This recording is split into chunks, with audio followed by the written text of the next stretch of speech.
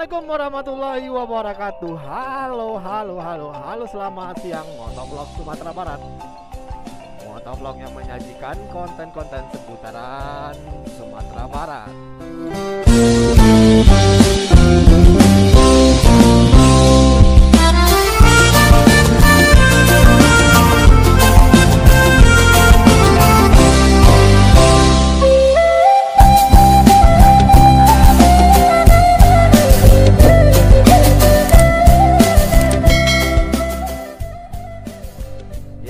akhirnya kita sudah sampai ya penghujung tujuan kita yakninya di kota Bukit Tinggi. Cukup jauh, hampir 3 jam ya. Kita dari Padang Bukit Tinggi itu sebenarnya waktu yang sangat molor sekali ya. Hal ini disebabkan karena ya kita nggak bisa saya bilang tadi kita nggak buru-buru amat, kita saat tergalang santai, bahkan banyak istirahatnya. Dan bahkan kita sempat-sempatnya juga sarapan tadi ya di masjid Puncak Malala ya. Dan akhirnya setelah melalui hampir ke tiga jam ya ke tiga jam bayangkan aja. Pakai motor naik motor ya. Ke Bukit Tinggi yang seharusnya bisa dua jam atau kurang dari dua jam malah molor setengahnya lagi atau sampai tiga jam. haha sebuah pencapaian yang sangat membagongkan ya. Tapi nggak apa-apa. Kita uh, tetap uh, apa ya konsentrasi di jalan. Namanya juga menikmati perjalanan ya seperti ini. Kita nggak perlu buru-buru. Dan kali ini kita ber, sudah sampai di ujung tujuan kita yakni kota Bukit Tinggi ya. Ini masih Kabupaten Agam dan ini adalah perbatasan ke kota kota Bukit Tinggi. Nah ini adalah perbatasannya ini. Nah kita udah masuk ke kota Bukit Tinggi. Dari sebelumnya tadi itu ke dari Kabupaten Agam ya. Memang kota Bukit Tinggi ini tergolong kota yang sangat kecil karena dahulunya kota Bukit ini Bukit Tinggi ini masih berada dengan bergabung dengan kawasan Kabupaten Agam. Namun beberapa waktu selanjutnya uh, pemekaran wilayah. Bukit Tinggi berdiri sendiri menjadikan daerahnya kota Madia atau kota Bukit Tinggi. Bukan kabupaten Bukit Tinggi ya. Dan ini adalah salah satu jalan protokol di Bukit Tinggi. Dan tujuan kita yang pertama untuk unboxing kali ini yakninya Ngarai Sianok ya Ngarai Sianok adalah artinya Ngarai itu adalah lembah.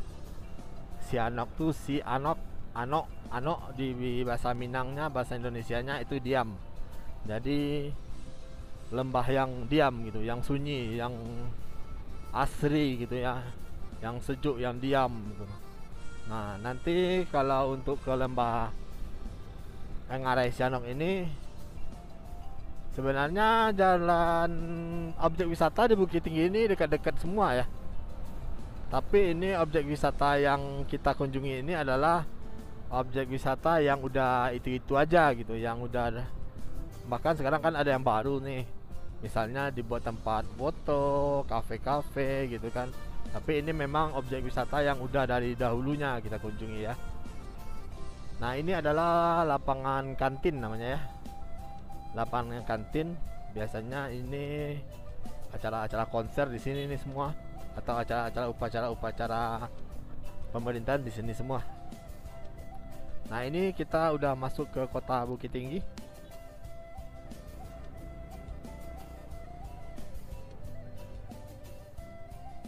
Dan seperti kota-kota yang lainnya macet ya. jadi kita harus hati-hati ya. Jangan sampai uh, celaka. Karena ini jalannya sempit. Dan juga rame maklum lah. Ini kota wisata banyak tujuan orang ke sini ya. Dan ya. Uh mepet cucu kok kayak gitu dia bawa mobil sih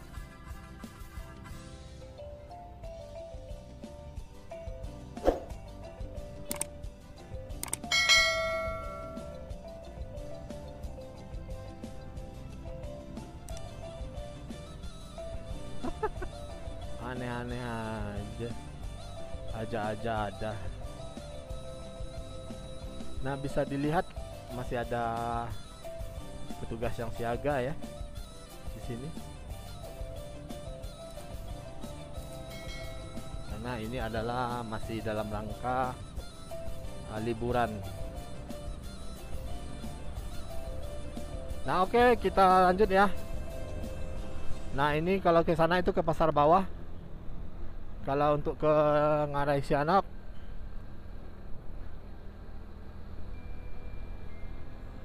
kita ambil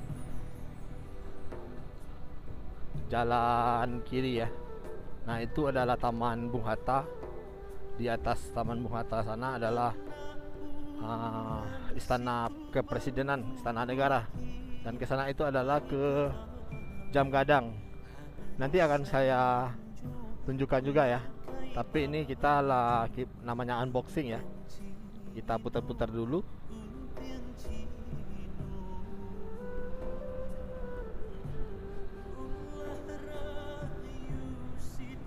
Nah, kalau kalian ke sini deket kok dari jam kadang ini bisa jalan atau naik ojek atau kalian bawa kendaraan bisa parkir aja di jam gadang bisa lanjut jalan ke sini. Naresianok dan di sini ada juga museum Dirgantara ya ini ada pesawat. Nah ini adalah Naresianok di sini. Mungkin kalian udah sering lihat ya di buku-buku pelajaran. Nanti saya gambar tampilkan gambar seperti ini ya. Saya juga nggak ke sana maaf karena memang tujuan kita memang nggak ke sana sebenarnya. Dan kita lanjut tujuan selanjutnya yakninya uh, benteng Fort ya sama jam gadang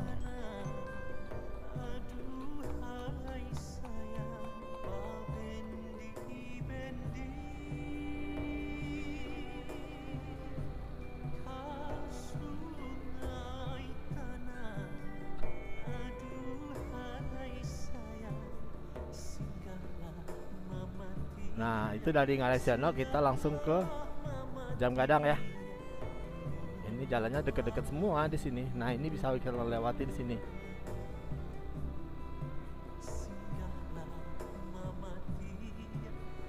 Ini rata-rata nih hotel nih sini. Hotel The Hill Hotel, Hotel Fahira. Dan ke depan kita akan menuju jam gadang. Sebuah tujuan wisata yang pastinya tempat utama yang pastinya dikunjungi yang nggak mungkin kita lewati di kota Bukit Tinggi ya. Jam gadang adalah sebuah peninggalan penjajah sebagai penanda ucapan terima kasih uh, buat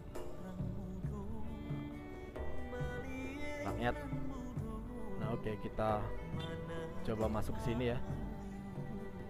Nah ini jam gadang.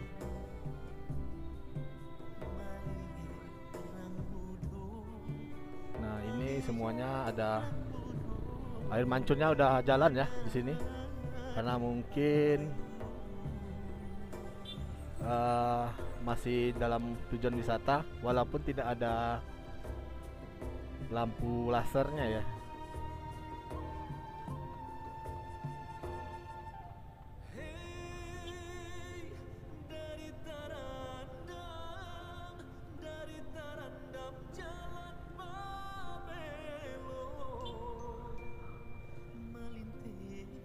ini dia nih. Taman air Jam Gadang Biasanya ini ja setiap jam 5 ya baru hidup. Tapi ini karena masih suasana liburan dihidupkan ya. Dan ini namanya Kampung Jawa. Kampung Cina sorry Kampung Cina. Pecinaan Kota Bukit Tinggi. Karena setiap daerah memang ada orang etnis Tionghoa ya karena beliau atau orang-orang ini adalah bagian juga dari negara Indonesia. Nah, ini adalah pecinan kota Bukit Tinggi.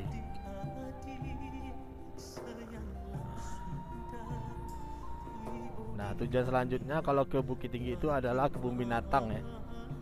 Kebun binatang dan benteng. Nah, di ujung sana itu adalah benteng Port Dekok. Yang di sebelah kanannya adalah uh, kebun binatang. Dan penghubung antara kebun binatang dan benteng ya ini ini jembatan Lipapeh. Nah, ini dia jembatan Lipapeh ya. Nah, itulah jalan-jalan kita singkat kita. Nah, masih banyak kok tempat-tempat lain yang ada di Kota Bukit Tinggi yang bisa wajib kalian kunjungi. Nah, ini adalah sebagian yang tempat-tempat yang masih lama ya. Oke, karena saya udah sampai juga di tempat tujuan, jangan lupa like, comment, share, dan subscribe.